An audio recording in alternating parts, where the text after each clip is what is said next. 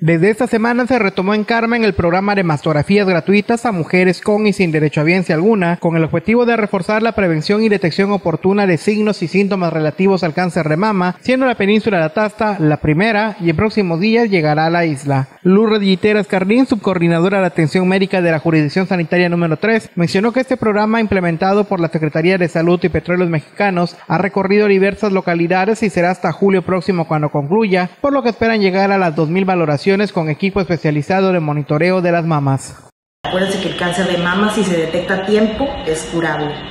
Entonces, ¿qué es lo que tienen que llevar las señoras que se quieran realizar el, el estudio? Pues únicamente su CURP, su credencial de lector, tienen que ir bañaditas, sin perfume, sin talcos, ni cremas, ni nada metálico, es decir, cadenas, eh, aretes, nada, nada metálico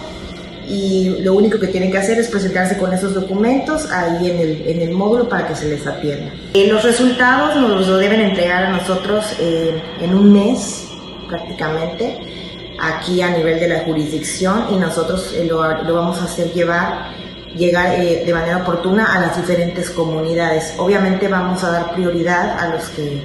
pues salgan con alguna patología, con alguna anomalía.